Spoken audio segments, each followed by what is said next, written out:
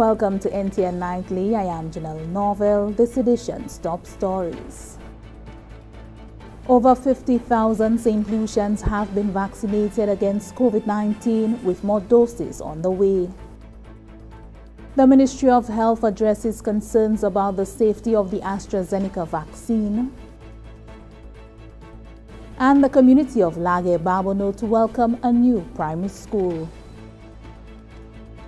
St. Lucia's national COVID-19 vaccination campaign has gained significant ground since implementation four months ago. However, the Ministry of Health says there is still considerable work to be done. As of Sunday, 13th June 2021, a total of 29,655 first doses and 20,589 second doses of the AstraZeneca COVID-19 vaccine had been administered. This represents 16.4% and 11.4% of the population receiving the first and second doses, respectively. During the month of May 2021, the campaign modified its initial phased approach to be complemented with a mobile component to facilitate greater ease of access to the vaccine by the general public. Nurse Tekla Jabatis is the Assistant Principal Nursing Officer and Vaccination Supervisor. Vaccines are offered at routine static vaccination sites every week island-wide, as well as at mobile sites within communities and at locations of high human traffic. The elderly, people with mobile challenges, and people living with chronic non-communicable conditions continue to be vaccinated within their homes to ensure individuals at high risk for severe COVID-19 infection are rich and provided with the protection offered by the vaccine. It should be noted that a cross-section of the private sector has partnered with the Ministry of Health to provide vaccine to their management and staff within their workplace. This has proven to be an effective approach for increasing vaccination coverage amongst individuals in their productive years of life. The Ministry of Health notes particular success with this strategy within the hotel sector. To date, some hotels have achieved vaccine coverage of about 65 to 70% of their staff complement. This is a remarkable achievement, especially in a sector where there is a higher risk of possible exposure to the COVID-19 virus given the nature of the heightened level of daily interaction with a wide range of people. This reduces the likelihood of a surge in cases given this level of protection and helping strengthen productivity in that sector. As the economy slowly reopens and restrictions are lessened, Nurse Jabati says the need to have a significant proportion of the workforce covered with the COVID-19 vaccine becomes increasingly important to protect the health of our citizenry.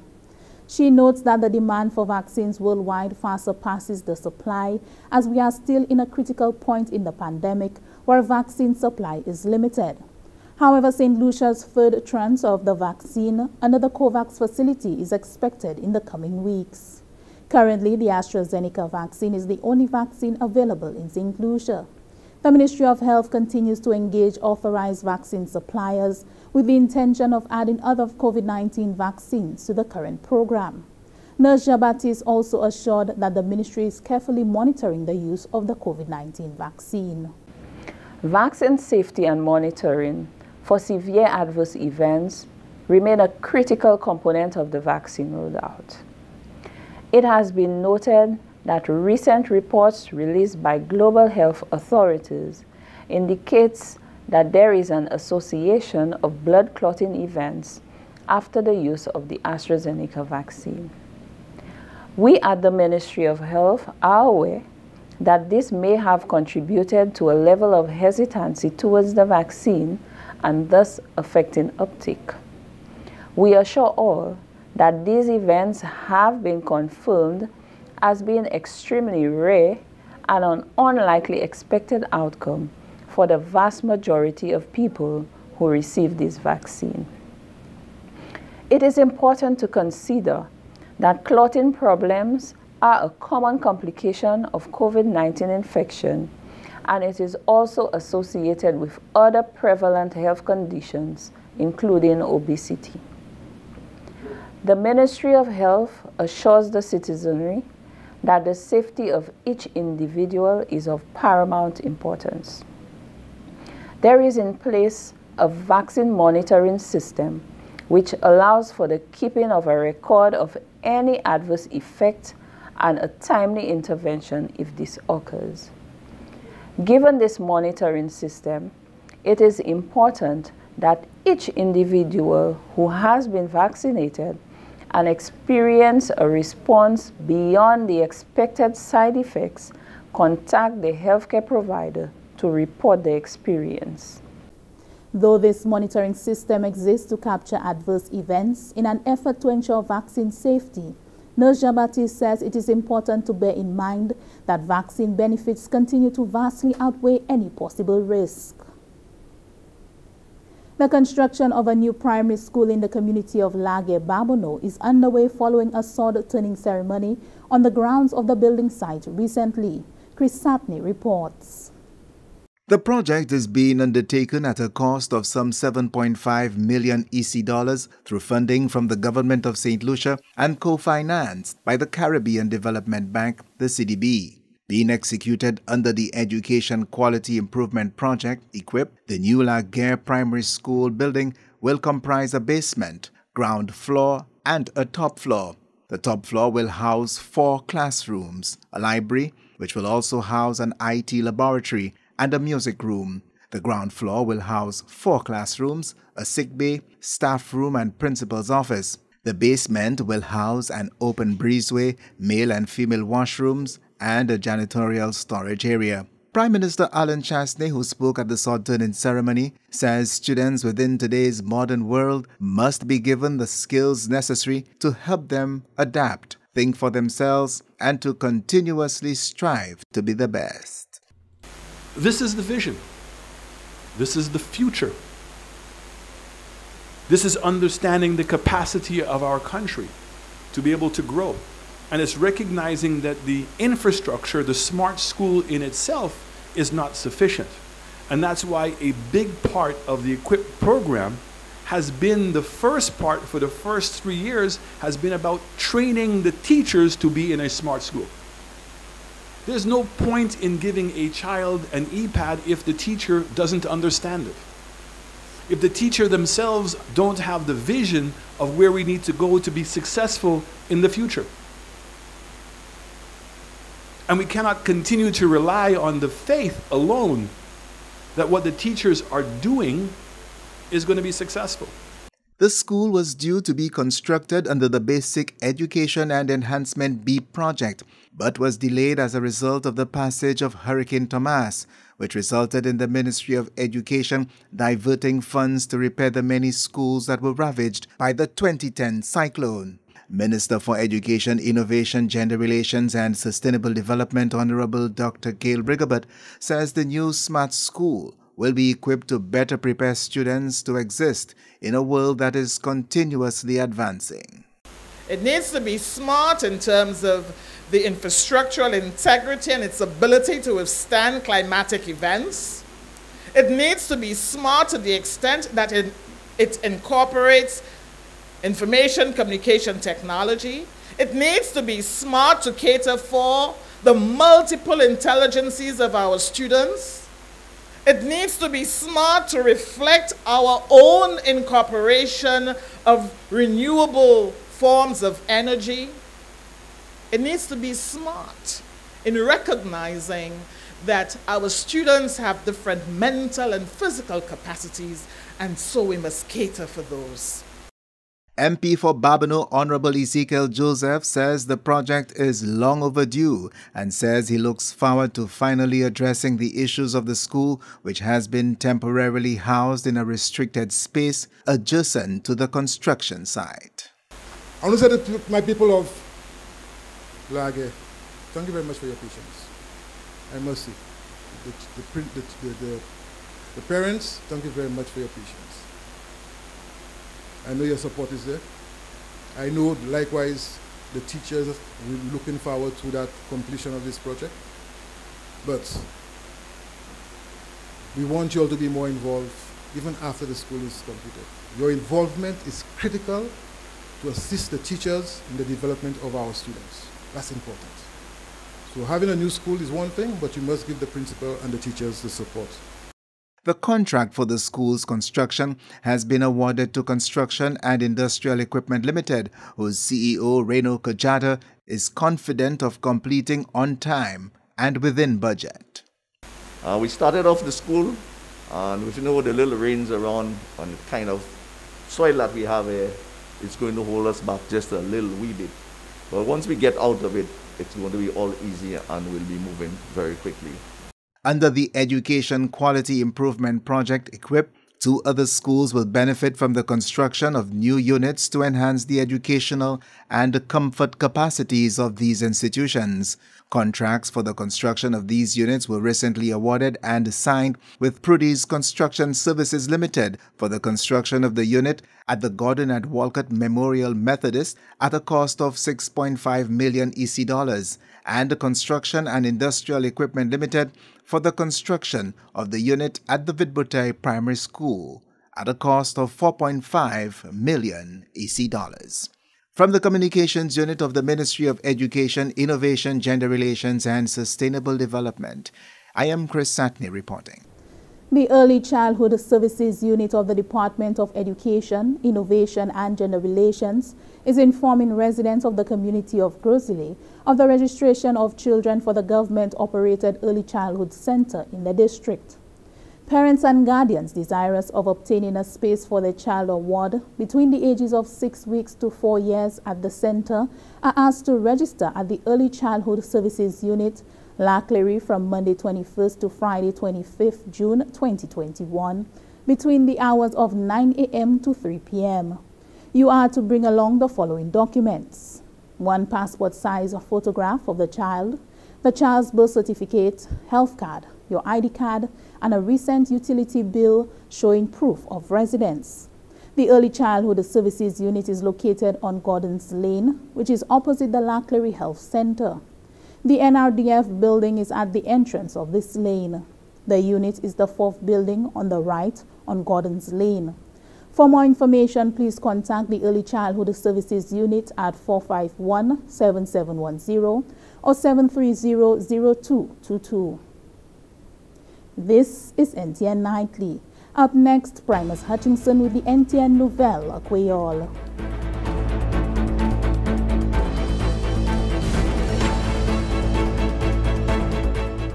point pokosyon, ek fè tout sa ou ni pou fè pou sove dlo. Lave bagay sal adan anbe sin dlo, pa kitek dlo a koui.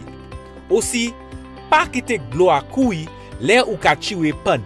Si toilet bol ou ka kole, ou ni pou mette ten an di de bak la. Toilet bol la ka koule si ou ka we koule a de bol la avan ou floch li. An toilet bol ki ka koule, ka gaspye a chay glo. Servi a bom pito an hoz pou lave motoka. Le ou ka lave had, servi dlo we se a pou ouze fle ou. Le ou sove dlo, ou ka bese manye a, ou ka servi tepe waman. Sove dlo tout le ou ni an chans, ek choje tout dlo e pontan. Sa se an komisyon Hod Wasko. Welcome back. We join Primus Hutchinson for the NTN Nouvelle Creole. Monsieur le Général, Monsieur, Madame, département, qui est responsabilité pour information en gouvernement ça c'est GIS, ça c'est télévision nationale pays NTN, qui a présenté nouvelle à Creole, présenté Primus Hutchinson. C'est un pays en Caraïbes qui a formé, sans nous connaître qu'en OICS, qui a célébré et observé 40 l'année depuis qu'il a signé agrément de Baster en pays Saint-Kitts en l'année 1981, côté organisation ça formée. Cette ici, c'est parmi sept anciens pays qui ont signé un agrément ça là. 40e anniversaire ça a tombé à un temps côté wèjouan, sa se wèjouan sete peyi sa la, ni pou fè batay kou sa la, epi yon pandemi ki selewa tou bonman. Prezentman, organizasyon OICS la ni 11 mam ki seme olyon sete peyi karib la et puis Antigue ek Babyouda, Dominique La Grenade, Montserrat, Setlesi, St. Kitts ek Nevis, Seversan ek La Grenadien, se pays lèl de viej anglais Anguilla, Martinique et Guadeloupe. Diwan yon adres pou observans sa la, direktèr jeneral pou CTP OICS la, Dr. Didikis Jules, deklare ki CTP Karib la ja bat la dje la vi ekonomik ek sosyal ansam ek sa ende yo pou kompran ki se divers situasyon ki ka divize yo ni mwen signifikans ki sa ki ka ambwase yo. Dr. Jules kouye sou CTP la pou chanje ki observans kawat lani aniversas sa la qu'on l'occasion pour changer ce moment, je te dis pour te bien ensemble, et puis on a l'autre, pour coopérer en unification contre pèse et force les grands majeurs internationaux. Dr. Jules aussi m'a dit, citoyen CTP là, pour changer aussi ces chefs politiques et exécutifs qui travaillent ensemble pour guider ces pays-là, disons, la route là. Il m'a dit, les citoyens CTP là, pour ne pas jamais oublier et faire tout ce pays-là pour de bout contre les plus forts en l'environnement international. L'organisation a ni commitment et dédication pour renforcer la vie économique et pour établir plus forte édification parmi ces membres-là. Aussi, à cela aussi, qu'a mis en pile importance à ce droit les hommes et droit par loi, il aussi qu'à encourager bonne gouvernance entre ces pays-là qui est dépendant comme ça qui dépend, toujours en ces pays-là, là. Organisation ici à cela, qui tient grande conférence à ce média social le 18 juillet 2021 en bas conduite Premier ministre de la Grenade, Dr. Keith Michel, qui est chairman pour le présent, ça caille face au public à sa page Facebook et YouTube à 10h du matin, vendredi, le 18 mois de juillet. Ministère de la Santé a rapporté une réduction en cas de maladie corona pour ces semaines qui passaient. Là aussi, a une réduction en ces quantités de monde qui étaient souffert et puis étouffement et moins de monde qui visité l'hôpital Victoria et moins aussi qui visité ces cliniques au Lyon pays là. Majorité à ces cas corona qui sont sortis en façade sud pays et aussi Babono et Gozile en façade nord. En même temps, les officiers de santé qui ont continué pour ménager la capacité maladie là pour pas s'immerger au résultat des activités sociales. Chef officier médical, Dr. Sharon Belma George, dit que ministère a continué pour tester et ouvert tous les jours. Mais pendant en réduction, généralement, le ministère a apporté aussi augmentation d'une nouvelle formation maladie corona qui est sortie à l'Angleterre, qui est cette liste à présent. Dr. Belma George déclaré que le ministère a reçu le résultat des maladies nouveaux ça l'organisation CAFA. C'est moi dit qu'il y a noté 19 en plus en cas corona anglais ça là c'est ici et ça porte mois pour 41 tout ça cas ça là c'est ici et majorité c'est cas corona anglais sorti à Babono Kozile et Castri. Dr Belma George qui averti cette lycée pour savoir que public là pour encore sorti à bas menace corona Eh, e kalot se formasyon malade a ki ka soti a gwan peyi ek osi matinik ki vejenaj non. Ek sa se paski moun pa ka suiv se protokol la kom yo sipose fè. Se mwa ka kontine pou konseye publik la pou wan tout pokosyon epi pou tout pokosyon ki nesesè. Lave la men, sanitize, pa patisipe a aktivite sosyal a plas publik ek weste lwe moun ki ka moutwe sin malade a. Servis la vaksin nan ka kontine yon sans paiement pour membres publics là en plusieurs communes. En total de 29 655 personnes j'ai trouvé vaccinés moi qui a encouragé le public là pour venir prendre dose de la vaccine pour abattre le traitement à l'hôpital et plus mauvais toujours, la mort. Service d'éducation pour les enfants, un département d'éducation qui a informé les résidents en Paris Cozile pou ale wejistre zafay yo pou institusyon de edikasyon ti zafay ki a ba gouvernement ki etabli an komin yo. De pawan ki ni dezi pou wejistre zafay yo an laj de 6 an pou 4 an, yo kamande yo pou vizite Health Center la, la Clery, lendi le 21 pou vendredi le 25 an mwad je, an 9 bon matin pou 3 an apomidi Bon, se fo yo pote dokumen kon yo pote pasport e zafar, batistei, kat satei, ek kat aide ou men, ek osi yon bil itilite pou moutwe pwev koto ou wezida. Institusyon Servis Predikasyon Gordons Lane ki vizavi Health Center Alakleri aso fasa Dwet Gordons Lane. Ou osi sa telefoni 451-7710 ebe 7 bien 730-0222. Ekseko sa nou atwa bot nouvel la, mga remesye otan pou ka gade, mga bon yon evitasyon, pou jen bi mwen konsidye konseve la vi, pou yon prezoto walot nouvel an kweyo la. Pwesa, mga view prezoto ou Chanel. Messi Appeal Primus. And that brings us to the end of NTN Nightly. Join us next time at 7 p.m. with a repeat at 7 a.m. You can also catch up with us anytime on the St. Lucia Government Facebook page or YouTube channel. I am Janelle Norvell.